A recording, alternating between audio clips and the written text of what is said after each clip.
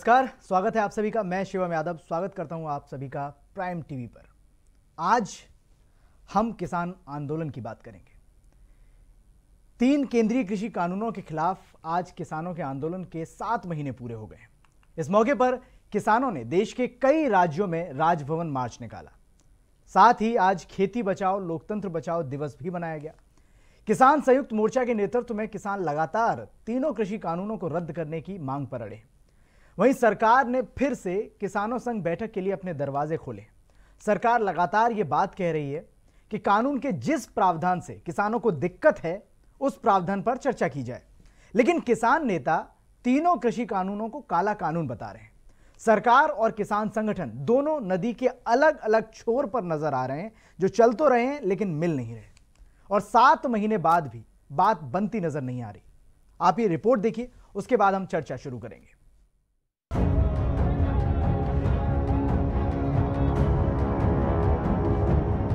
आज किसान आंदोलन को शुरू हुए सात महीने का समय बीत चुका है। लेकिन ये आंदोलन जहाँ से शुरू हुआ था, वही आज भी नज़र आ रहा है। किसान संगठन तीन नए केंद्रीय कृषि कानूनों के खिलाफ लगातार प्रदर्शन कर रहे हैं और मांग कर रहे हैं कि तीनों कृषि कानूनों को वापस लिया जाए। वहीं सरकार इन कानूनों को किसानों का हितैषी बता रही है। कई दौर की वार्ता भी दिल्ली के विज्ञान भवन में किसान संगठनों और सरकार के बीच हुई, लेकिन हल के नाम पर कुछ भी नहीं निकला। किसान संगठन इन कृषि कानूनों को काला कानून बता रहे हैं। आज किसान आंदोलन के सात महीने पूरे हो गए हैं, जिसके चलते किसानों ने पूरे देश में राजभवन मार्च का ऐलान किया। कई जगह पुलिस और आंदोलनरत किसानों के बीच झड़प भी हुई है। आइए पहले एक नज़र डालते हैं कि कैसे ये किसान आंदोलन शुरू हुआ था। किसान आंदोलन से जुड़ी बड़ी बातें। 14 सितंबर 2020 को संसद का मानसून सत्र शुरू हुआ। कृषि सुधार से जुड़े तीनों विधेयक राज्यसभा और लोकसभा में रखे गए। लोकसभा में ये विधेयक पास हो गए, लेकिन 17 सितंबर को इस्तीफे का दौर शुरू हुआ।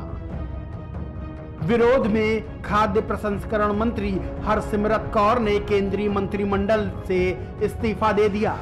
20 सितंबर को ये विधेयक राज्यसभा में रखे गए, जहाँ विपक्ष ने जमकर विरोध किया। विपक्ष ने मांग की कि विधेयक को अमान्य करने वाले प्रस्तावों पर मतदान कराया जाए। राज्यसभा के उपसभापति ने उनकी मांग अस्वीकार कर दी और सदन में घमासान मच गया। तीसरा कानून आवश्यक वस्तु अधिनियम संशोधन 1955 22 सितंबर 2020 को पारित किया गया। 27 सितंबर को राष्ट्रपति की स्वीकृति के बाद ये तीनों विधेयक कानून बन गए। किसान 26 नवंबर 2020 की शाम को दिल्ली की सीमाओं के विरोध के लिए सिंधु और टीकरी पहुँचे, जिसके बाद सरकार और उनके बीच 11 दौर की वार्ता हुई। किसान संगठनों की अंतिम दौर की विफल वार्ता 22 जनवरी 2021 को हुई। 26 जनवरी को किसान संगठनों ने बड़ी संख्या में ट्रैक्टर परेड निकाली। दिल्ली के लाल किला पर जमकर तथाकथित किसान नेताओं ने उपद्रव मचाया, जिसके बाद किसानों को अचानक खालिस्तानी शहरी नक्सली और देशद्रोही कहा गया। आज आंदोलन इन आरोपों से बाहर निकल चुका है। और प्रदर्शन का दौर अभी भी जारी है। आज 26 जून को दिल्ली की सीमाओं पर किसान आंदोलन के सात महीने पूरे होने पर संयुक्त किसान मोर्चा ने देश भर में राजभवन मार्च का ऐलान किया। जगह जगह किसानों और पुलिस के बीच झड़प भी हुई। उत्तर प्रदेश की राजधानी लखनऊ में भी किसानों ने जमकर प्रदर्शन किया और राजभवन तक कूच कर दिया। पुलिस और किसानों के बीच जमकर धक्का मुक्की हुई। किसान मोर्चा ने इस विरोध मार्च का नाम खेती बचाओ, लोकतंत्र बचाओ दिवस रखा। बता दें, ये विरोध मार्च देश में आपातकाल लागू होने की छियालीसवीं बरसी के एक दिन बाद आयोजित किया गया है। बड़ी बात यह है कि सरकार ने फिर से किसान नेताओं को बैठक के लिए आमंत्रित किया है। और सरकार भी ये बात जानती है कि बातचीत के ज़रिए ही कोई हल निकाला जा सकता है। वहीं किसान तीनों केंद्रीय कृषि कानूनों को रद्द करने की मांग पर अड़े हैं। और सरकार भी ये बात लगातार कह रही है कि कानून किसी भी कीमत पर रद्द नहीं किया जा सकता है। बशर्ते अगर किसान किसी बदलाव की मांग करते हैं तो संशोधन के बारे में ज़रूर सोचा जा सकता है। अजय सिन्हा की रिपोर्ट, प्राइम टीवी।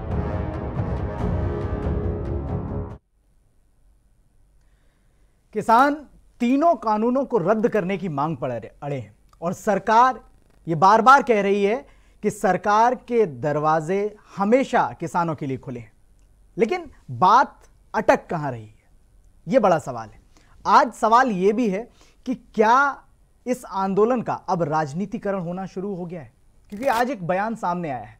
किसान नेता शिव कुमार कक्का ने यह कहा है कि जिस तरह से हमने पश्चिम बंगाल में भारतीय जनता पार्टी के खिलाफ वहाँ पर प्रचार किया, ठीक उसी तरह अब 2022 में उत्तर प्रदेश में भी ऐसा ही किया जाएगा।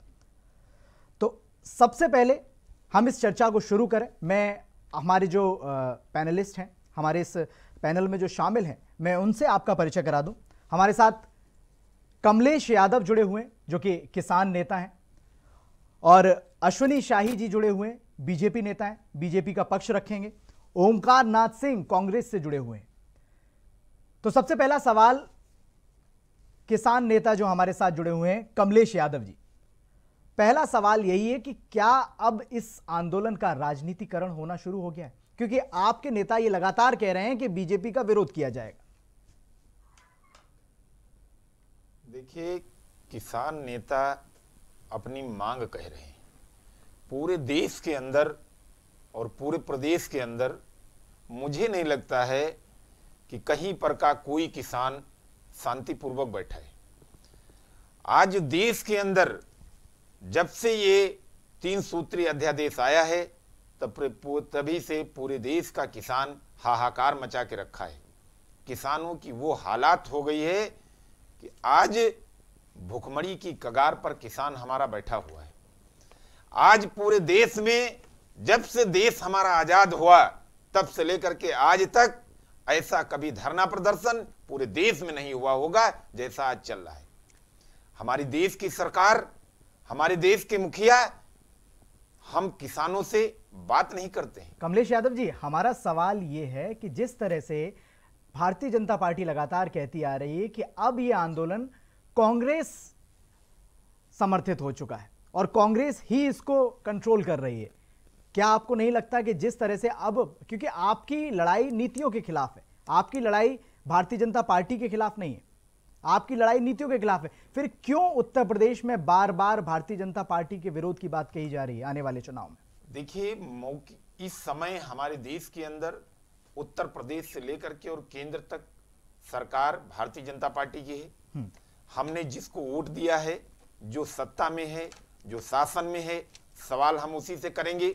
जब हमारी बात नहीं सुनी जाएगी तो हमारे जो भी नेता हैं, जो नेतृत्व करता है, उनका जैसा आदेश होता है, वैसा हम लोग कर रहे हैं। और देश के किसान सब हर सरकार को लाता है। ना किसी सरकार का बिका है, देश का अन्नदाता अपनी आवाज़ उठा रहा है। जो चीज़ मुझे नहीं सही लग रही है, जो किसानों के पक्ष में नहीं है, उसका किसान विरोध कर रहा है, फिर सरकार क्या हमारे ऊपर ज़बरदस्ती थोप देगी? ये जो भी धरना प्रदर्शन हमारा चल रहा है, ये ना राजनीतिकरण हुआ है और ना कोई राजनीतिक नेता हमारे बीच में कभी आया है। हम लोग अपनी बात सीधे सरकार से कह रहे हैं। हमारा जो भी मुद्दा है, वो सीधे सरकार से केंद्र सरकार से है। हमारे जो नेता हैं, बुज़ुर्ग हैं, उनकी जो भी भविष्यवाणी होती है, वो सरकार को पता है। दिख रहा है आज, पूरा देश जान रहा है। जो बड़ी बड़ी बातें कर रहे थे देश के जो मुखिया बड़ी बड़ी बातें कर रहे थे आज उनका मुँह बड़े से छोटा हो गया। समय आने पर उत्तर प्रदेश में भी ये जवान और ये किसान इनका इलाज तो ज़रूर करेगा। वो 2022 का आने वाला वक्त बताएगा। लेकिन अश्विनी शाही जी पाँच महीने हो चुके हैं। बात होगी भी या नहीं?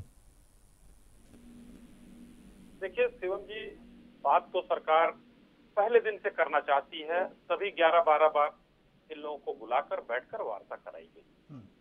शुरुआती दिनों में देखिए चार मांगों में दो मांगे मान ली गई लेकिन हमारे जो किसान भाई थे ये किसान भाई हमेशा अड़े रहे कि इस काले कानून को वापस लिया जाए हम्म। सरकार कहती रही काला क्या है बताओ जो इनके लोग हम्म। जो हमारे अभी कमलेश जी कह रहे थे ये किसान नेता हैं इनके जो नुमाइंदे जो अपने सदन में हैं उच्च सदन में और संसद में वहाँ पर लोग सरकार ने पूछा भाई काला क्या है आप बताइए। तो किसी दल ने जो इनकी नुमाइंदगी कर रहा था किसी ने उसको काला नहीं बताया। सरकार अभी भी कह रही है माननीय कृषि मंत्री जी ने अभी भी कहा है वार्ता करने के लिए तैयार है। लेकिन इसको रद्द करने की मांग के अलावा कोई मांग हो आप लेकर आइए। और अभी आपने किसान नेता से सवाल किया इसका राजनीतिकरण हो गया है एकदम राजनीतिकरण हो गया है। सौ परसेंट होता है लेकिन एक हज़ार परसेंट राजनीतिकरण हो गया है। आज किसान नेताओं की जो तथाकथित किसान नेता उनकी राजनीतिक महत्वाकांक्षाएँ जाग चुकी हैं। और वो राजनीतिक दलों के हाथ की कठपुतली पहले से हम लोग कहते रहे और आज वो कठपुतली हो चुके हैं और आज उसकी परिणति दिख रही है। मैं एक उदाहरण देना चाहूँगा। हम्म। संयुक्त किसान मोर्चा नाम है लेकिन बिजनौर में भाजपा के खिलाफ प्रत्याशी उतारता है। ये राजनीतिक महत्वाकांक्षा नहीं तो और क्या है? इसको भी देखना पड़ेगा। शिवम जी, जी। ये टोटली अब क्या हो गया है? सबके अंदर ये जाग गया है कि हम किसानों के पार्टियों के जो राजनीतिक दल हैं उनकी ज़मीन तो है नहीं इस समय। भारतीय जनता पार्टी ने पूरे देश से बेदखल करने का काम किया है और खासकर कांग्रेस पार्टी की मैं बात कर रहा हूँ। ये पूरे देश से बेदखल हो चुके हैं। बंगाल जाकर चुनाव में हमारा भारतीय जनता पार्टी की खिलाफत किया लोगों ने और कक्का जी के आज बयान की बात आपने कर दी। आज उन्होंने कहा लेकिन फिर भी भारतीय जनता पार्टी तीन सीट से सतहत्तर सीट तक पहुँची है शिवम जी। उसके बाद आ जाते हैं उत्तर प्रदेश और एमपी का चुनाव जो हमारा होने वाला 2024 में संसद का उस पर भी इन लोगों के बयानात आ रहे हैं। वो अगर किसानों के बयानात है शिवम जी तो बहुत बढ़िया है यही हमारे किसान हैं। अगर नहीं है आप भी अगर उसे खारिज करते हैं तो मैं इनको इस आंदोलन को तथा कथित किसान आंदोलन आप पर ये आरोप लगाया जा रहा है कि आप राजनीतिकरण कर रहे हैं आप अपने प्रत्याशियों को चुनाव में उतार रहे हैं। और एक बड़ा सवाल उन्होंने ये ये किया, वो भी आपसे कि लगातार जिस तरह से कानूनों में जिस कालेपन की बात की जा रही, वो आप नहीं बता रहे शिवम जी अश्वनी जी से मैं ये कहना चाहता हूँ कि देखिए, किसान हमारे देश का अन्नदाता है, भारतीय जनता पार्टी हमारी सत्ता में है, केंद्र में है और प्रदेश में है। हमारी जो भी मांग है, हमारी सीधे सरकार से मांग है जो सत्ता में है, उससे हम सवाल करेंगे।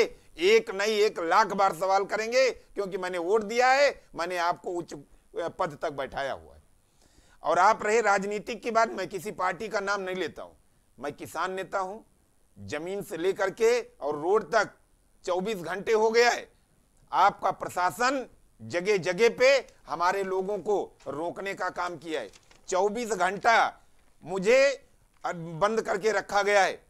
प्रशासन और भारतीय जनता पार्टी को अगर किसान नहीं देख रहे हैं, किसान नहीं दिख रहे हैं तो क्या ये आपकी स्किन के ऊपर कहीं विदेश के लोग दिख रहे हैं? पूरे देश का अन्नदाता रोड पर है और आप कहने की किसान नहीं है।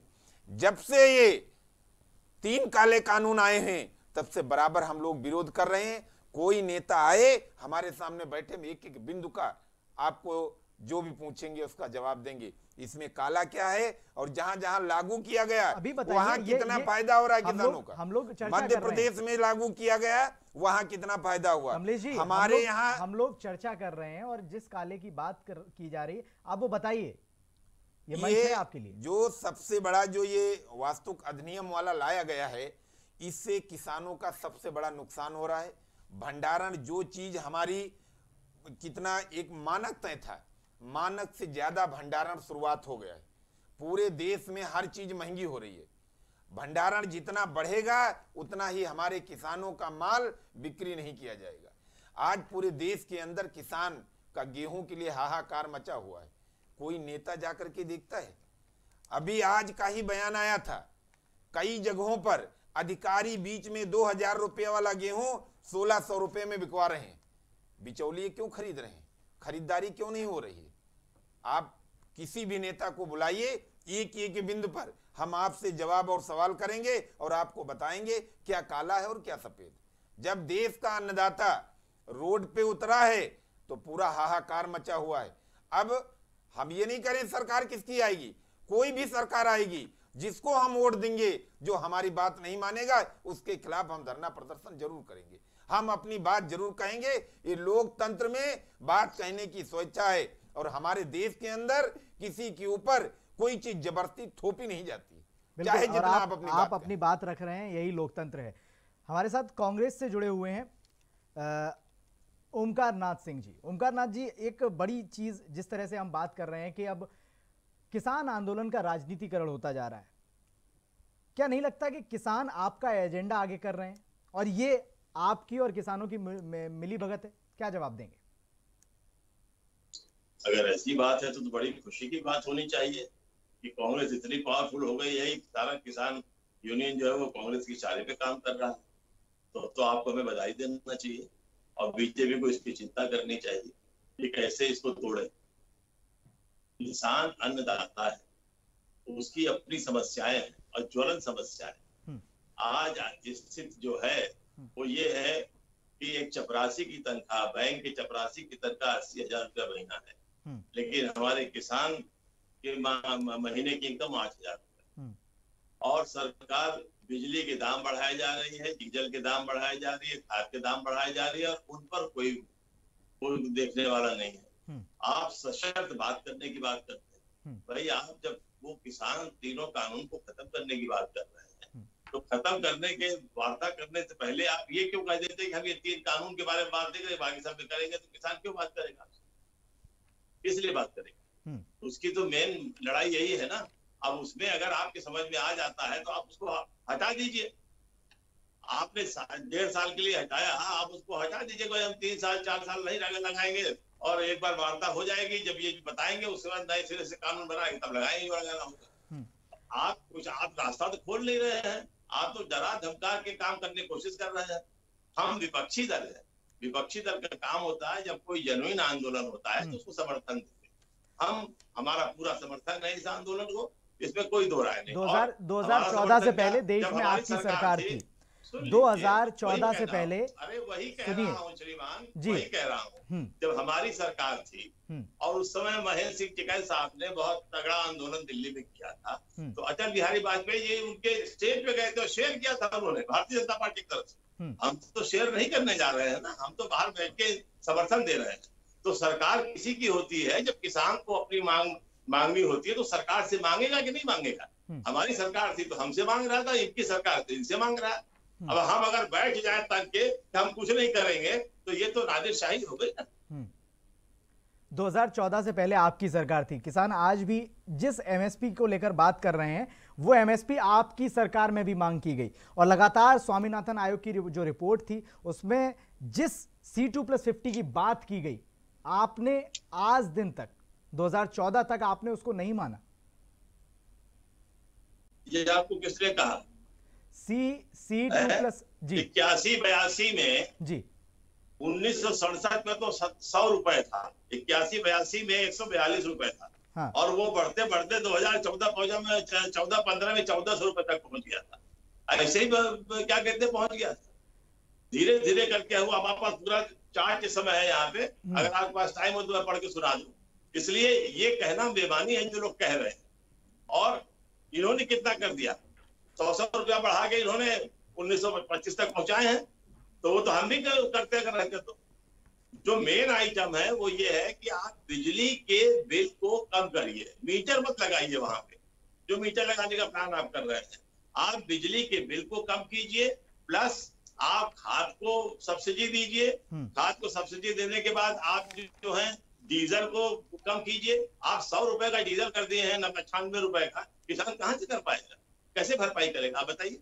शाही जी क्या जवाब देंगे? सारी चीज़ें आप महँगी करते चले जा रहे हैं और उसको आप कंट्रोल करने की बात नहीं कर रहे हैं उसको सब्सिडाइज करने की बात फर्टिलाइज़र और डीजल के दाम लगातार बढ़ते जा रहे हैं। तीन चीज़ें छोड़ दीजिए बाकी सब जवाब देना चाहूँगा शिवम जी। जी बिल्कुल। ओमकार नाथ जी ओमकार नाथ जी एक वरिष्ठ कांग्रेस के नेता है और हम्म। इनको बहुत ही चीज़ों का ज्ञान है और मैं हम्म। बड़ा सम्मान करते हुए इनका कहना चाहूँगा कि डीजल के दाम बढ़े हैं सबको दिख रहा है कहीं कोई बात नहीं है पेट्रोल डीजल के दाम बढ़े हैं। हम्म। लेकिन ये दाम रेणुका चौधरी इनकी मंत्री थी। हम्म। उन्होंने प्रेस कॉन्फ्रेंस में कहा था कि अगर आप एक हज़ार रुपए का सिलेंडर नहीं खरीद सकते हैं आपकी औकात नहीं है। आप हटिए आप गरीब आदमी हैं। हम्म। नहीं कर सकते हैं। उसी सिलेंडर को कितने करोड़ सिलेंडर हिंदुस्तान में मोदी सरकार ने बांटा है इसको भी ये आपके सामने गवाह है। दूसरा डीजल पेट्रोल की बात करते हैं जहाँ तक माननीय ओंकारनाथ जी मैं कहना चाहूँगा आयल बांड इन लोगों ने खरीदा था उस पर कितना ब्याज 2026 तक हम लोगों को देना पड़ेगा वो कहाँ से आएगा? देश में आज चारों तरफ़ चतुर्दिक विकास किया जा रहा है सड़कों का जाल बिछाया जा रहा है भारतमाला से लेकर चाहे जो भी करिए वो हिंदुस्तान में भारतीय जनता पार्टी की एनडीए सरकार कर रही है। ये इन लोगों ने क्यों नहीं किया? आयल बांड पर कोई जवाब नहीं कांग्रेस देती है। और किसान नेता के पीछे, किसान आंदोलन के पीछे राहुल जी को बहुत बढ़िया मोर्चा दिख जाता है। और उसी बहाने मैं फिर कहूँगा कि हमारे ये किसान भाई जो बैठे हुए हैं, ये जब शुरू हुआ था तो बड़ा शानदार और बहुत सुंदर। एकदम समझ लीजिए कि गंगा की तरफ़ पवित्र आंदोलन था। लेकिन आंदोलन में क्या ये चीज़ें नहीं हुई? खालिस्तानी झंडे नहीं दिखाए गए नारे नहीं लगे गए। माननीय प्रधानमंत्री जो हिंदुस्तान के सबके प्रधानमंत्री हैं हमारे ओंकारनाथ जी के और कमलेश जी के और आपके शिवम जी उनको नारी मर्जा मोदी के नारे लगे कि नहीं लगे। एक व्यक्ति ज़िंदा जला दिया गया लाल किले का सबने कांड देखा तो ये किसान आंदोलन किस रास्ते पर बढ़ता चला गया इस पर बात कीजिए तो मैं कहूँगा कि ज़्यादा बेहतर है। आज सारे किसान एक इनके नेता इस समय पूरे देश में बने हुए हैं राकेश सिंह टिकैत जी। वो किसान नेता है उनके पिताजी की अभी बात की ओमकारनाथ ओमकार जी ने उन्होंने उन्होंने कहा जी एक लाइन पूरी कर लेने दीजिए एक लाइन पूरी कर लेने दीजिए। महेंद्र सिंह टिकैत के कहा कि समर्थन दिया। उस समय के आंदोलन बेहतर होते थे। ये लाल किला कांड नहीं होता था बलात्कार कांड नहीं होता था सिंगू बॉर्डर पर। ये चीज़ें नहीं होती थी। और आज टिकैत साहब क्या कह रहे हैं? आज का बयान में आपको बताऊँ उनको कि धमकी के बगैर केंद्र सरकार नहीं झुकेगी। कैसी धमकी देंगे भाई। आप किसान नेता हैं। 370 से जोड़ रहे हैं इसको इस आंदोलन को। ये है इनकी असल अब धीरे धीरे परत खुल रही है शिवम जी मैं ये कहना चाह रहा हूँ। जी। आप जो सवाल था उससे भटक गए लेकिन एक सवाल और सामने निकल कर आया है। कमलेश जी कुछ कहना चाहते हैं? धमकी का आरोप लगाया आप पर? मैं अश्विनी जी से कहना चाहता हूँ कि देश का किसान कब तक चुप बैठेगा? कब जागेगी हमारी देश की सरकार? कब उसके कान खुलेंगे? हमारे देश में पूरा केंद्र का और जो भी हमारे देश की जनता है जो हमारे देश का किसान है वो चाहे प्रदेश का हो चाहे देश का हो पूरे हाहाकार मचा हुआ है। आपको किसान नहीं दिख रहा है। एक किसान नेता हमारा मुखिया है जो उन्होंने अगर आपसे। आपसे कोई बात कह दिया तो आप धमकी बता रहे हैं। जो बाबा टिकैत जी जब धरना प्रदर्शन करते थे तो यही माननीय राजनाथ सिंह उत्तर प्रदेश के मुख्यमंत्री थे। निकल करके गए थे बाहर। और जा करके मिले थे। आज हमारे भारतीय जनता पार्टी किसी नेता के पास समय नहीं है। हम लोग आदमी इंसान नहीं है। हम जानवर हैं। है किसी भारतीय जनता पार्टी की औकात, किसी अधिकारी की या किसी नेता की जो जो चल करके बैठेगा गर्मी बरसात में। सात महीने हो गए। अभी तो टिकैत साहब ने कहा है, जब पूरे देश में मैं बता देना चाहता हूँ, केंद्र की और प्रदेश की सरकार से, ये किसान की आवाज़ है। ये किसान अपने हक के लिए लड़ रहा है। हो सकता है आगे और बड़ा आंदोलन हो। और जितना भी, ये धमकी नहीं, मैं जिसको वोट देना जानता हूँ, जिस सरकार को नीचे से उठा करके कई वर्षों पीछे चली गई, उसको दिल खोल करके हमने सीटें दिया और दिल खोल करके उत्तर प्रदेश से लेकर के केंद्र तक सरकार बनाया। वो सरकार एकदम कान पूंछ बंद करके बैठ गई। अभी हम लोगों का नारा है, जो न माने झंडे से, उसे मना लेंगे डंडे से। क्योंकि अब समय आ गया है। जो प्रभु राम के समय लक्ष्मण जी ने कहा था कि बिना न मानत सुनिए, जलधि जल गए तीन दिन बीत। अब महोदय बोल रहे हैं। वो समय आएगा। ये किसान नेता अब समय आएगा बहुत जल्दी। अब केंद्र में और प्रदेश में किसान उग्र आंदोलन करेगा सरकार को जगाएगा। इसीलिए आज हम लोगों का जो प्रदर्शन था जब हमारे प्रदेश से लेकर के केंद्र तक सभी रास्ते बंद हो गए। पूरी सरकार एकदम गूँगी बहरी हो गई। तो हम लोगों ने राज्यपाल महोदय के द्वारा एक संकेतिक सरकारों धरना प्रदर्शन किया और राज्यपाल सुन लीजिए। किसान सुन जी सुन लीजिए। राज्यपाल हूँ महोदय के द्वारा राष्ट्रपति महोदय को ज्ञापन देने के लिए आज हम लोगों का। संकेतिक धरना प्रदर्शन था। आपको मौका मिलेगा बोलने का सुन लीजिए। सुन लीजिए पूरे देश में सभी चैनल सभी प्रिंट मीडिया इलेक्ट्रॉनिक मीडिया सभी जगह दिखाया गया। किसी के कहने से नहीं होगा ये भटक गया। किसी के कहने से नहीं होगा ये भटक गया ये राजनीतिक हो गया। आपसे मैं सवाल करता हूँ आप जवाब नहीं देंगे। हम सात महीने बैठे रहेंगे आप अपना कार्य करते रहेंगे। हम इंसान नहीं है हम बरसात झेल रहे हैं गर्मी झेल रहे हैं जाड़ा झेल रहे हैं कोई देखने वाला नहीं।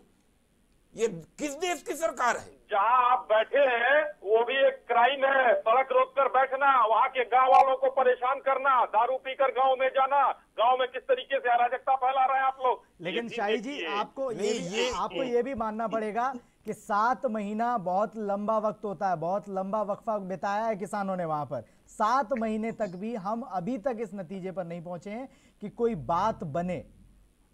सरकार की तरफ़ से आखिरी आखिरी हाँ, बयान मैं आपको बता दूँ सरकार की तरफ़ से आखिरी बयान 19 जून को नरेंद्र सिंह तोमर जी का आया था। उससे पहले मैं 22 मार्च को एक बयान आया था कि हाँ प्रधानमंत्री नरेंद्र मोदी जी की तरफ़ से कि हमारा नंबर हमारा आप सिर्फ़ एक फ़ोन कॉल की दूरी पर। उसके बाद पाँच महीने लग गए एक बयान जारी करने में। किसी ने किसी ने संपर्क करने की कोशिश की। इन लोगों ने किया। ने इन लोगों को तो लाल किला घेरना था। इन लोगों को तो वहाँ पर बलात्कार करना था। इन लोगों को तो खालिस्तान के नारे लगाने थे। किसी ने किया? अगर किया होता तो माननीय प्रधानमंत्री जी ने कहा था और करके दिखाते देखिए ये हमारे किसान भाई हैं ये उग्रवादी नहीं है। और कल अब कल देखिए पूरे देश को कितना बढ़िया मैसेज चौबीस तारीख को गया है। जम्मू कश्मीर जो आतंकवाद प्रभावित है जिन लोगों ने देश का भी विरोध किया है भटक रहे वो हैं लोग भटक रहे हैं भटक रहे हैं। सुनील ओमकार नाथ जी, सिंह आप कुछ मैं- कहना चाह रहे हैं? हाँ, रुकिए। हाँ मैं ये कहना चाह रहा था हमारे भाई शाही जी ने कुछ आरोप लगाए हमारे ऊपर जी। कि रेणुका चौधरी ने कहा था कि अगर हज़ार रुपए का गैस सिलेंडर नहीं ले सकते हो हम्म, तो मत लो। नतीजा क्या हुआ मित्र? हम्म, हम बैठ गए बाहर और जनता ने चालीस से पचास पे हमको पहुँचा दिया। तो हमने तो अनुभव सीख लिया। हम्म, अपने गड़बड़ी से अपनी कमी से। आप नहीं सीख पा रहे हो। आप उसी तरह से कह रहे हो कि आपने गैर कानूनी काम किया उधार बैठे हुए हैं। और जो आपने ऑयल बॉन्ड की बात की ऑयल बॉन्ड जो हमने लिया था भाई मेरे हमने 2014 में उस पर जो एक्साइज ड्यूटी लगाई थी वो तीन रुपए छप्पन पैसे थी। जो बढ़ा के आपने इकतीस रुपए अस्सी पैसे कर दिया डीजल पे। और पेट्रोल पे जो हमारा नौ रुपए अड़तालीस पैसे था, आपने बढ़ा के बत्तीस रुपए नब्बे पैसे कर दिया। आज डीजल की कीमत इक्यानवे रुपए और पेट्रोल की कीमत अट्ठानवे रुपए तक पहुँचा दी आपने। अब मैं आपसे ये पूछना चाहता हूँ कि आप जो है, इस, ये 25 लाख करोड़ रुपया जो आपने इससे कमाया है, इससे ऑयल बाउंड का किस्त नहीं आप दे सकते हैं? वो पैसा क्यों आपने विकास के दूसरे कामों में लगा दिया? जबकि आपको मालूम था कि आपको ये पैसा वापस करना है। कल को आप बुलेट ट्रेन चला रहे हैं और जब उसके पैसा देने की बारी आएगी तो ये आवश्यक नहीं कि आप ही सत्ता में हो। अगर उस समय की सरकार इस बुलेट ट्रेन के पैसे की पहले से व्यवस्था नहीं करेगी, कैसे दिया जाएगा तो उस सरकार की नाकामी होगी। समझे आप? तो ये आपकी नाकामी है कि इस ऑयल को किस तरह से आप नहीं दे पा रहे पच्चीस लाख करोड़ रुपया उससे कमाने के बाद तो इसलिए इस तरह के आरोपों को लगाने के पहले कैलकुलेट कर लिया कीजिए और तब बताया कीजिए। हमारी आपको फिर सलाह कि आप किसानों को निमंत्रण दें, उनको बुलाएँ और सशर्त मत रखें। उनकी बात को सुने और मैं आपको फिर राय दूँगा कि ये तीनों कानून वापस ले लें। भले ही बाद में आप उनको समझा के बुझा के कुछ कम बेसी करके आप बना लें, लेकिन अभी इसको वापस ले लें, क्योंकि किसान हमारे अन्नदाता हैं। इतना बड़ा जो आप आंदोलन करा रहे हैं ये आपके हित में तो नहीं होगा देश के भी हित में नहीं बिल्कुल शाही जी सिंह ये साहब, ये जी। मैं कुछ कहना चाहूँगा सिंह साहब के लिए। सिंह साहब देखिए एकदम आपकी बात सही है सरकार भी मानने के लिए तैयार है लेकिन ताली एक हाथ से नहीं बचती है सिंह साहब। किसान भाई एक तरफ़ कह रहे हैं कि हमको ये कानून वापस चाहिए सरकार कह रही नहीं चाहिए। तो फिर आप उस चीज़ के बारे में कैसे कह सकते हैं कि सरकार नहीं बुलाना चाहती है? कुछ इनके पास भी तो होना चाहिए। किसान भाई भी हमको दें कि भाई आपको हमने ये दिया चलिए आप कानून वापस हम नहीं चाहते हैं। ये संशोधन कर दीजिए। सरकार संशोधनों के लिए हमेशा तैयार खड़ी है। लेकिन उसके बावजूद भी हमारे किसान नेता कह रहा है कि जब तक हम आंदोलन करते रहेंगे काला कानून वापस नहीं हो जाता तो भाई अब काला कानून है तो बैठे रहो सड़क पर। एक सरकार कह रही है कि नहीं वापस होगा। समझिए तो करिए। देखिए शाही जी, 2022 में विधानसभा का चुनाव होना होगी हमें कि किसानों के लिए जो आप जिस कानून की बात कर रहे हैं वो कानून अगर किसान नहीं चाहते हैं तो क्यों नहीं हटा दिया जाए? जब जो चीज़ जिसके लिए बनाई अच्छा जा रही है अगर आप अच्छा किसानों के हितैषी होने का वादा करते हैं आप मुझे बताइए कि एमएसपी के मूल्य में कितनी प्रतिशत वृद्धि की गई? बताइए आप पिछले साल। देखिए इसका इसका चार्ट हर साल एमएसपी के मूल्य में हमेशा वृद्धि होती है और आज खुले बाज़ार का मैं आपको बता देता हूँ। मैं आपको बता देता है। शाही जी खरीफ की फ़सल में मक्का के दाम सिर्फ़ एक दशमलव शून्य आठ फ़ीसदी बढ़े। एक दशमलव शून्य आठ फ़ीसदी। पिछले साल 25 परसेंट का आया था और आप कह रहे एक दशमलव आठ परसेंट आया है। कहाँ है आप भाई? खरीफ की फ़सलों पे नज़र डालिए। मक्का के जो मैं दाम की बात कर रहा हूँ मिनिमम सपोर्ट प्राइस एक दशमलव शून्य आठ फ़ीसदी। मैं फैक्ट्स के साथ बात कर रहा हूँ शाही जी। जी ठीक है। शिवम जी अश्विनी जी अपनी बात कह रहे हैं दूसरे की बात मानने के लिए तैयार नहीं है। आप कह रहे हैं कि हमारे नेता संपर्क नहीं किए। हमारे नेताओं ने एक बार नहीं तीन तीन बार प्रधानमंत्री जी को और कृषि मंत्री जी को चिट्ठी भेजा है। आप जिस कानून को लाए हैं उस कानून को ज़बरदस्ती मेरे ऊपर थोप रहे हैं। अश्विनी जी, अगर आपको लेना है टू व्हीलर और हम आपको थमा दें फोर व्हीलर तो आप क्या ज़बरदस्ती ले लेंगे? जिस किसान के लिए आप बिल लाए थे, अगर लाने से पहले किसान नेताओं से या हमारे जो बीच के मुखिया हैं, उनसे बैठ करके चर्चा कर लिए होते तो आज ये दिन देखने को नहीं मिलता जो आज गले की हड्डी फंसाए घूम रहे हैं। पूरे देश में नेताओं के मुँह से आवाज़ नहीं निकल रही है। आने वाला समय ये बताएगा, ये किसान है ये देश का अन्नदाता है ये न कभी बिका है न डरा है और न कभी झुका है। ये हमारे देश का अन्नदाता है। सुन लीजिए सुनी जी जब जब देश की सरकार को बनाने का भी काम करता है सरकार किसी की बया किसान वही रहेगा और वही काम करेगा जो कर रहा है। आज ये मस्पी की बात आप कर रहे हैं। ये मस्पी पे कितनी खरीदारी हुई है? हाहाकार मचा है चलिए दिखाएँ। पता नहीं कितनी अनगिनत ट्रैक्टर टालियाँ लगी हैं। गेहूँ उत्तर गया है। कोई देखने वाला नहीं है। बता रहा हूँ।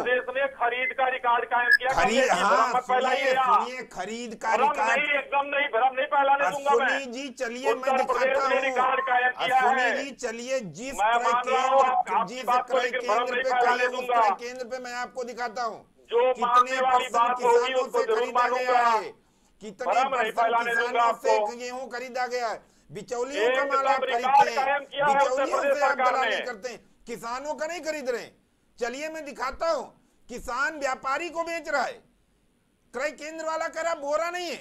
अधिकारियों से मैं कहे बैठा हूँ। अधिकारी करे मैं क्या करूँ बोरा कहाँ से लाऊं? अपने घर से बोरा दे दूँ। ऐसे ऐसे देखिए पीसीएस वो बैठे वो दूसरी समस्या अरे क्यों समस्या? ये मेरी समस्या है? ये सरकार की नहीं मेरी समस्या है। आप मेरे पास भाई रिकॉर्ड है फ़ोन में। नहीं। को फ़ोन करता हूँ फ़ोन नहीं उठाते देश की जनता जब सवाल करेगी तो आप उसको इधर उधर से मोड़ना चालू करेंगे। रिकॉर्ड कायम किया है या नहीं? बस एक सवाल नहीं रिकॉर्ड कायम किया है रिकॉर्ड व्यापारियों का तो फिर क्यों नहीं कहते? फिर क्यों नहीं, नहीं तो- कहते ये भारतीय जनता पार्टी की सरकार ने नहीं? है? ये पूंजीपतियों की सरकार है। ये व्यापारियों की सरकार है। ये क्यों नहीं कहते आप? सीधे कहिए भारतीय जनता पार्टी की सरकार ने। इसीलिए तो सरकार जी, बहुत अच्छा बात नहीं करना चाहिए आपने माना इस चीज़ को। अश्विनी जी इसीलिए सरकार बात नहीं कर पा रही है। इसीलिए क्योंकि पूंजीपतियों की सरकार है ये व्यापारियों की सरकार है ये व्यापारियों का माल खरीदेगी ये छोटे छोटे किसानों का माल नहीं खरीदेगी। इसीलिए मैं कह रहा हूँ अगर भारतीय जनता पार्टी की सरकार होती तो हमारे बड़े पुराने पुराने नेता दिग्गज बैठे। जो बड़ी बड़ी बातें करते थे एक नहीं लाखों बार बोले थे किसान देवता है किसान की हर बात मानेंगे। जो आज उनके ऊपर लठ बरसाया जा रहा है पानी गिराया जा रहा है बेमौत किसान मर रहे हैं 400 से ज़्यादा 500 किसान हमारे शहीद हो गए। कौन सा नेता हमारे बीच में अरे जरा वो जला के जो मारा है आप लोगों ने उस पर भी बयान दे दीजिए सुनिए सुनिए आपकी इंटेलिजेंस क्या कर रही है? आपका प्रशासन क्या कर रहा है? आप जाँच करवाइए। जो दोषी हो उसको आप सजा दीजिए। आपके बीच में बिल्कुल उसको सजा दीजिए आप जाँच करवाइए। आप जाँच करवाइए। अगर किसी ने उनके साथ गलत किया है तो उसको आप सजा दीजिए। आप क्यों नहीं जाँच करवाते? बलात्कारी आपके बीच में बैठे हैं ज़िंदा आपके उसको जला उसने तो बयान दे दिया है। उसने तो बयान दे दिया तो जाँच करवाइए ना, उसको। जो भी गलत हो उसके साथ करवाइए कोई उसकी नहीं जाँच बचेगा, जो भी करवाइए। होगा। आपकी अलग बात है। इंटेलिजेंस आपकी पुलिस आपकी मिलिट्री क्या कर रही? है एक सवाल का जवाब कमलेश जी हम चाह रहे थे कि आप किसान अभी आंदोलन ओमकार नाथ कर सिंह रहे से जो हैं। मैं शिवम मैं भी जी एक क्योंकि काफ़ी देर से वो मुस्कुरा रहे हैं और वाकई में जब दो पक्ष भिड़ रहे हो तो तीसरे पक्ष को बड़ा मज़ा आता है। ओमकार नाथ सिंह जी आज जो स्थिति बनी हुई है मैं अगर कहूँ 2014 की अगर बात की जाए मैं आज एक रिपोर्ट है उसके हवाले से ये आपको बता रहा हूँ कि 2014 में किसान की जो जो मासिक जो आय थी वो थी छह हज़ार चार सौ छब्बीस रुपए प्रतिमा और आप आज किसानों के मसीहा की बात करते हैं किसानों का पक्ष रखने की बात करते हैं आप कहते हैं कि किसान अन्नदाता हैं और हम हमेशा उनके साथ हैं। तो 2014 से पहले की जो स्थितियाँ थी कमोवेश वो भी इतनी ज़्यादा ठीक नहीं थी।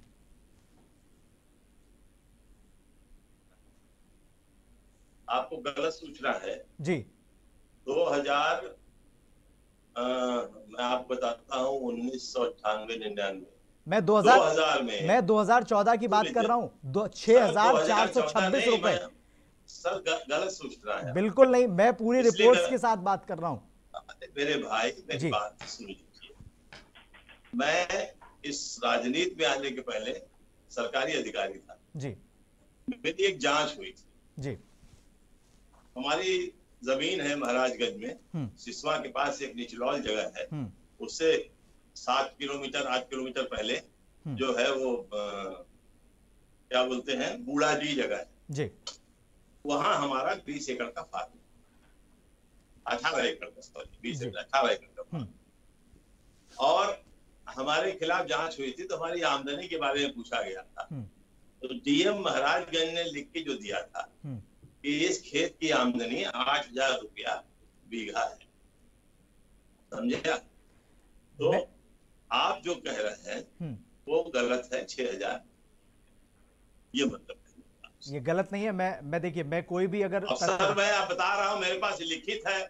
मेरे पास लिखित है डीएम महाराज का आज का नहीं है दो हज़ार का लिखा हुआ है। तो जो मैं कह रहा हूँ उसको सुन लीजिए। बहुत उससे जी बता रहे हैं कांग्रेस वाले के 2014 में हालात बहुत अच्छे थे। क्या कहें? शिवम जी और 2014 में तो मैं ओमकार जी से भी कहना चाहता हूँ तब आठ हज़ार थी और अब तो अठारह हज़ार हो गई। अगर इतना मेहरबानी आप भी किए होते तो कहाँ से कहाँ पहुँच गए वो बात पीछे की मत खो दिए मौके पे देखिए भारतीय जनता पार्टी आज कितना आए हमारी प्रतिमा की। आज की बात कीजिए क्योंकि किसान आज लड़ाई लड़ रहा है। आपसे लड़ाई लड़ता था और आपसे बराबर लड़ाई लड़ रहा था जब सत्ता में आप थे। इस समय सत्ता में जो पूंजीपतियों की सरकार है हम उससे लड़ाई लड़ रहे हैं। इसीलिए हमारे नेता कहते हैं कि इस समय सरकार किसी की नहीं चल रही। इस समय सरकार बड़े बड़े पूंजीपतियों की चल रही है। उन्हीं की बात मानी जा रही है। किसान की कोई सुनने वाला नहीं है। व्यापारी का कोई सुनने वाला नहीं है। मैं अपने मित्र की बात का जवाब दे रहा था जो ठीक है भाई साहब मान लिया मान लिया मैंने आपकी बात मान लिया क्योंकि आप पीछे की बात कर रहे हैं। इस समय जो हमारी सरकार से लड़ाई चल रही है मैं उसकी बात की बात सही है। इस समय कितनी आय दोगुनी हो गई है। इस समय व्यापारी का क्या हाल है? जाकर के मार्केट में देखिए। बेमौत व्यापारी मर रहा है। किसान परेशान है मजदूर परेशान है। इस समय खाने को लाले हो रहे हैं। एक एक छोटा बड़ा दुकानदार कितना परेशान है। आप 6426 की बात कर रहे हैं तब क्या आय थी? आज की आय देखिए रोड पे मारा मारी बची। आज से तीन साल पहले तीन साल पहले जो लेबर 400 में मिलता था आज लेबर कह रहा ढाई सौ में हमें कहीं लगा लीजिए। ये देश के मेरे परिस्थिति हाहाकार मचा है शाही जी बड़ा आरोप है। किसानों ने जितना उत्पादन किया क्या वाकई में वो खरीदा गया पूरा? मैंने अभी देखिए आपके ही चैनल पर अभी हमारे भाई किसान नेता कमलेश यादव जी ने कहा कि उत्तर प्रदेश ने रिकॉर्ड खरीद की। ये कहीं से छिपा नहीं है रिकॉर्ड खरीद हुई। दूसरा मैं एक सवाल आपसे करना चाहूँगा अगर नहीं हुआ एक उदाहरण देता हूँ मैं। हम्म। पंजाब के किसानों ने इस बार तिलहन क्या रेट क्या भाव बेचा बाज़ार में? खुले बाज़ार में बेचा है उन्होंने। ये किसी से छिपा नहीं है सारे डेटा है। पंजाब के किसानों को उसका उपज का कितना गुना दाम मिला वो प्रसन्न है कि नहीं प्रसन्न है? अब गेहूँ से छोड़ के वो तिलहन की तरफ़ भाग रहे हैं। ये भी हुआ। तीसरी बात मैं कहूँगा ये किसान आंदोलन है मैं मान रहा हूँ। क्या जिस दिन से पीएम सिंह और भानु प्रताप सिंह छोड़कर गए हैं वो किसान नेता नहीं थे? इन लोगों ने उनको खारिज कर दिया। वो किसान ही नहीं है। अब बताइए वो तो सरकार में अब वो तो कह देंगे कि सरकार के चाटुकार हैं। वो लोग इनके साथ आंदोलन पर कंधे से कंधा मिलाकर चले हैं। लेकिन अंत में उनको हटना पड़ा। क्यों हटना पड़ा? इनकी नीतियाँ उनके समझ में नहीं आई। वो भी एक बड़ा चलाते हैं कुनबा। वो किसान नेता वो भी है। लेकिन हमने अगर कहा तो ये लोग कहेंगे नहीं वो किसान नेता नहीं थे सरकार के। अभी एक सज्जन कह रहे थे किसी चैनल पर मैंने सुना है ये इस बात को कि वो सरकार के चापलूस हैं। यहाँ पर क्या हो रहा है? देखिए किसान भाइयों को अगर अपनी मांग मनवानी होती तो चीज़ों को बैठकर रास्ता निकलता है। जिद पर पेड़ देखिए एक हम लोगों के देहात में ओंकार नाथ जी हमारे बड़े हैं और हम लोग एक ही तरफ़ के रहने वाले हैं। बाँस और कईन की कहावत कही जाती है कि जो बाँस होता है वो उसको तोड़ने पर झुकाया जाता है वो टूट जाता है उसमें अकड़ होती है। और उसका जो तना होता है छोटा सा इसको कईन कहते हैं हम लोग वो फिर एक बार पूरा गोला बना सर्किल बना दीजिए फिर वापस वो हो जाता है। तो आज किसान नेताओं को सरकार के साथ मिलकर रास्ता निकालने की आवश्यकता है। अगर किसान नेता इस तरीके की बात नहीं कहेंगे और हमारे भाई कमलेश यादव जी किसान नेता होने के बावजूद डंडे की राजनीति की बात करेंगे तो सरकार और प्रशासन से लड़ना मैं बता देना चाहता हूँ आसान नहीं है।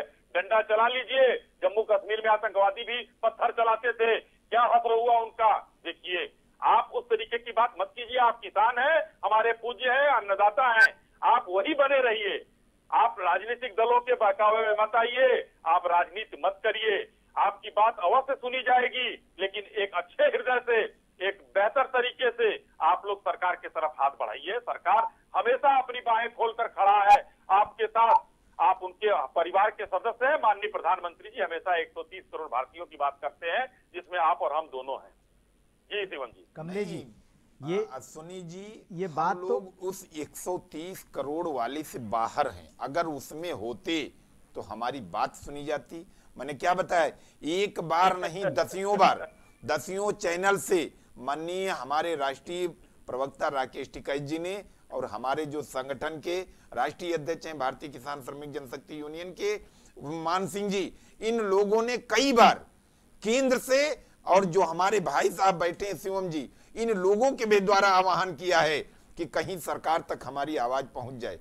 चिट्ठी भेजी गई, चिट्ठी का भी जवाब नहीं मिला है। कैसे कह दे, हम भी 130 वाले में के? हमको तो लग रहा है हम लोग बाहर वाले हैं, जो हमको एक तरफ़ छोड़ दिया गया है। जियो या मर जाओ, कोई मतलब नहीं। कोई सुनने वाला नहीं। हमारी बात कोई सुनने वाला नहीं है। हम चाहे कुछ करें 400 से 500 जि- से ज़्यादा किसान हमारे शहीद हो गए, किसी नेता ने नहीं देखा। आज इस स्कीम के ऊपर हमारे परिवार की माताएँ बहनें भाई बुज़ुर्ग सभी लोग दिख रहे हैं। गर्मी बीत गई बरसात बीत गई ठंडी बीत गई अब फिर बरसात आ गई। कितने आंधी तूफ़ान हम लोग झेले? अगर 130 करोड़ जनता की सरकार होती तो बात की जाती। कोई भी समस्या का हल सबको पता है बैठ के निकलता है। कमलेश जी लेकिन जब एक टेबल पे कोई आएगा महीने तो हो चुके हैं और ताली एक हाथ से कभी नहीं बजती। ये हर कोई जानता है। सात महीने बाद भी हम सिर्फ़ उन्हीं तीन कानूनों पर टिके हुए हैं। आपकी प्राथमिकता क्या है? एमएसपी एमएसपी या वो तीन कानून? मेरी प्राथमिकता है एमएसपी को कानूनी जामा पहनाया जाए। हमारा माल जो बिके एमएसपी से नीचे ना बिके। मैं यही चीज़ तो कह रहा हूँ। अगर ये चीज़ और जो वस्तुक अधिनियम के कानून है। बैठा जाए टेबल पे। जो मेरी बात है उस बात को सुना जाए। अगर हमारी जो मांगे हैं मान ली जाएँगी तो ये जो तीन सूत्री अध्यादेश जो काला है वो दस में से आठ परसेंट खत्म हो जाएगा। इसीलिए सरकार नहीं चाहती है कि एमएसपी को कानूनी जामा पहनाया जाए। जब मेरी बात आप बैठिए। माननीय राष्ट्रीय प्रवक्ता जी को हमारे राष्ट्रीय अध्यक्ष दादा कानूनी जामा पहनाया जाए। देखिए शिवम जी जी। अ, एक मेरा सुझाव है। भी कहा कि मैं बोल सकता आप आगे बिल्कुल। ओंकार जी आपको भी मौका मिलेगा सड़क से अगर आप चीज़ों को लेकर कर रहे हैं तो सबको कष्ट है कि एक हमारा भाई सड़क पर जाड़ा गर्मी बरसात में बैठा हुआ है लेकिन अगर कोई जिद ठान कर बैठा हुआ है तो फिर मैंने पहले भी कहा कि सिस्टम से जिस तरीके से नहीं लड़ा जाता है एक लोकतांत्रिक देश है आप कुछ भी बोल रहे हैं कोई दिक्कत नहीं है सर आँखों पर आप हमारे अन्नदाता कुछ नहीं बोलने के लिए बोलने पे तो पट्टी लगवाई जाती घर के अंदर कानूनी- कैद करवाया जाता लठ कानूनी चलवाए जाते ज़बरदस्ती को कानूनी मान्यता दिया जाए। शाही जी सवाल ये है कि एमएसपी को कानूनी बैठक में- मान्यता दी जाए। क्या आप तैयार बैठक में जाए ना। मैं तो कह रहा हूँ कि माननीय कृषि मंत्री जी ने कहा माननीय प्रधानमंत्री जी ने कहा और कृषि मंत्री जी इधर लगभग हमको लग रहा है कि पिछले महीने से दो तीन बार कह चुके कि आप रास्ते खुले हैं आप आइए। अश्विनी जी मैं भी कह रहा हूँ अश्विनी जी मैं भी कह रहा हूँ आप वही कोई नंबर बता दीजिए जिससे संपर्क हो जाए। आप डेट दिला दीजिए जहाँ बैठक की जाए आप भी करवा मतलब दीजिए। प्रधानमंत्री थे, अगर कहिए तो चिट्ठी भी निकलवा के दिखवा देंगे। कितनी बार चिट्ठी भेजी गई? किसी एक को तो बार जवाब दिया गया कि फला दिन बैठक की जाएगी? नहीं नहीं उस चिट्ठी में आपने क्या लिखा था? उस चिट्ठी को तो पूरा देश देखा है। पूरा देश तो नहीं देखा चिट्ठी में यही लिखा गया था की कोई। टेबल बनाई जाए हमारी बात सुनी जाए। हम जब भी की बात आप लोग करते हैं। अश्विनी जी जब भी हम कोई प्रदर्शन करते हैं जब हम कोई मांग रखते हैं जब हम कोई मांग करते हैं सरकार से या अधिकारी से या किसी नेता से तो हम लिखित ही तो बात करते हैं। उसके बाद भी जवाब नहीं दिया जाता है।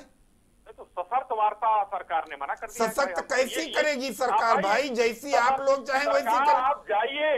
आप सरकार के पास चिट्ठी लिखते हैं उसमें कहते हैं तीनों काला कानून को आप वापस लेंगे तो तो जब हम आपको बात नहीं करनी है, तो बड़ी बड़ी बातें कर रहे हैं चिट्ठी में लिखते हैं कि जब आप हमारी ये बात मांग मानेंगे तभी हम वार्ता करेंगे। तो हाँ, तो आप बिल्कुल। ही चाहते हैं जी, चार कदम आगे चलेंगे चार कदम आप लोग कमलेश जी ये भी ये भी ये भी किसी से छिपा नहीं है कि देश पूरी तरह से कोरोना की जद में था। दो महीने से लगातार और अब भी वो खतरा टला नहीं है। बावजूद इसके भीड़ को इकट्ठा किया जाना क्या ये सही है? नहीं नहीं सही है। बिल्कुल मैं कह रहा हूँ, भीड़ को इकट्ठा किया जाना सही नहीं है। लेकिन जब सात महीने से हमारे देश का किसान रोड पे पड़ा है, सरकार को तो देखना चाहिए, एक बार भी सुध लेनी चाहिए, नहीं लेनी चाहिए। आज पूरे देश में हाहाकार मचा है। आज हर जगह, हर ज़िले में, हर प्रदेश में, हर तहसील ब्लॉक में प्रदर्शन हो रहा है। तभी भारतीय जनता पार्टी के बड़े बड़े नेताओं को और हमारे बड़े भाई अश्विनी जैसे नेताओं को किसान नहीं दिख रहा है। ये सब बाहरी विदेशी दिख रहे हैं ये सब राजनेता दिख रहे हैं। किसी राजनेता की हिम्मत नहीं है जो लाठी और डंडा लेकर के और झंडा लेकर के किसानों का जाए। ये किसान अपना झंडा डंडा लेके तब जाते हैं जब अपनी बात कहने के लिए। बाकी तो हर सरकार के पीछे चले? हर सरकार के पीछे चले। अगर ये किसान नेता नहीं और किसान के बेटे नहीं निकलेंगे तो आप उस कुर्सी पे नहीं पहुँचेंगे। आप देश के मुखिया तो मुखिया हैं। आपको हो सकता है जैसे हमारे बीच में ओमकार जी बैठे हैं उससे जो ज़्यादा खराब समय आ जाए आपके साथ। इसलिए समय बहुत जल्द आएगा। ये उत्तर प्रदेश हर चीज़ को हर जगह पे आपको उठा के पहुँचाने का काम करता है। बात मान लीजिए जिद मत करिए मैं आज भी कह रहा हूँ अंशुनी जी ओमकार नाथ सिंह जी फाइनल कमेंट में आपसे चाहूँगा। मैं सिर्फ़ इतना कहना चाहता हूँ हम्म, ये सरकार जो है पीछे के इतिहास से सबक नहीं लेती। मुझे कहने में कोई गुरेज नहीं है मित्र। जब अन्ना जी का आंदोलन चला था हम्म, और हमने उसको बड़े हल्के में लिया था जिसका हश्र क्या हुआ सबको मालूम। और वही ये काम करता जन आंदोलन की कभी भी उपेक्षा नहीं की जानी चाहिए। और एक सुझाव देता हूँ आपने दो साल के लिए इस कानून को टालने की बात कही थी। हम्म, मेरा सुझाव ये है और मेरे ख्याल से कमलेश जी भी शायद इससे सहमत हो। कि इसको 2024 तक टाल दिया जाए और आप इसी पर जो कानून बनाए हैं, इसी पर आप चुनाव लड़ लीजिए। चुनाव जीत जाइए तो कानून थोप दीजिएगा और नहीं तो ये किसान आपको बता देंगे कि आप क्या किस रास्ते पर। इसलिए समझदारी का काम यही है, इस कानून को वापस लेके एमएसपी को कानूनी जामा पहना के इस आंदोलन को समाप्त करें। तो बिल्कुल शिवम जी जी। शिवम जी हाँ आपसे भी फाइनल कमेंट चाहूँगा। चाहूँगा। जी जी। जी। ओमकार नाथ जी ने बहुत बढ़िया याद दिलाया कि किस तरीके से होता है सबको पूरे देश को। याद होगा रामदेव जी ने भी आंदोलन किया था और किस तरीके से लाठियों से उसका दमन किया गया था उस समय कांग्रेस की सरकार थी। तो मैंने मैं मैं यही कहना चाह रहा हूँ उस आंदोलन की बात करिए और आज के आंदोलन की किस तरीके से सरकार इनके साथ है किसी को? कहीं छुआ नहीं गया किसी को कुछ गलत नहीं किया गया। बता रहा हूँ। ये देखिए और हमारे भाई है ये आंदोलन करते रहे। लेकिन मैं अभी भी कहूँगा कोरोना का काल को देखते हुए आप लोग आंदोलन खत्म करिए और सरकार से एक बार मिलकर वार्ता करने की कोशिश कीजिए। अश्विनी जी अश्विनी जी जब तक मेरी बात नहीं मानी जाएगी आंदोलन नहीं खत्म होगा। और ये देश का किसान है। अश्विनी जी सुनिए। ये देश का किसान है ये सरकार को बनाना भी जानता है और उखाड़ करके फेंकना भी जानता है। ये उत्तर प्रदेश है। ये उत्तर प्रदेश की जनता है। ये उत्तर प्रदेश की यहाँ से। मुख्यमंत्री से लेकर के प्रधानमंत्री तक बनते है। यहाँ से लेकर के राष्ट्रपति तक बनते हैं। ये उत्तर प्रदेश की जनता है। आने वाले समय में सबको याद दिलाएगी और सबको दिखाएगी जो सात महीना नहीं तो सत्रह महीना तक चलेगा। और किसान की आवाज़ जब तक ज़िंदा रहेंगे तब तक उठाएँगे। कितना भी आप लड़ लीजिए। जितना भी आप लड़ तो लीजिए बड़ी बड़ी सरकारें चली गई। बड़ी बड़ी पीढ़ियाँ चले गई। किसान तब भी वही कर रहा था और आज भी जय जवान का नारा लगाता है। आर पार लड़ाई लड़ेगा। भानु किसान। सिंह पर जवाब क्योंकि ये दिया देश ये देश है नहीं किसानों का है। भारत देश को ये भारत देश सोने की चिड़िया ये किसानों की है। लेकिन 74 साल आज भी स्थितियाँ कमोवेश वही है आज़ादी के 74 साल बाद भी किसान शायद उस स्तर तक नहीं पहुँच पाया है जहाँ पर उसे पहुँचना चाहिए था। और हम अब आने वाले समय में ये उम्मीद करते हैं कि हमारी सरकारें किसानों की बात मानेंगी और उनकी जो मांग है, उस पर विचार ज़रूर करेंगे। फ़िलहाल के लिए आप सभी मेहमानों का बहुत बहुत धन्यवाद। ओमकार नाथ सिंह जी, आपका भी बहुत बहुत धन्यवाद। कमलेश जी, आपका भी बहुत बहुत धन्यवाद। शाही जी, आपका भी बहुत बहुत शुक्रिया हमारे साथ जुड़े और आपने इस चर्चा में हिस्सा लिया। तो मैं उम्मीद करता हूँ कि आने वाले समय में हमारी सरकारें किसानों की बात सुनकर एक अहम फैसला लेते हुए एक रास्ता ज़रूर निकालेंगे। फ़िलहाल इस डिबेट में मेरे साथ बस इतना ही। आप देखते रहिए प्राइम टीवी।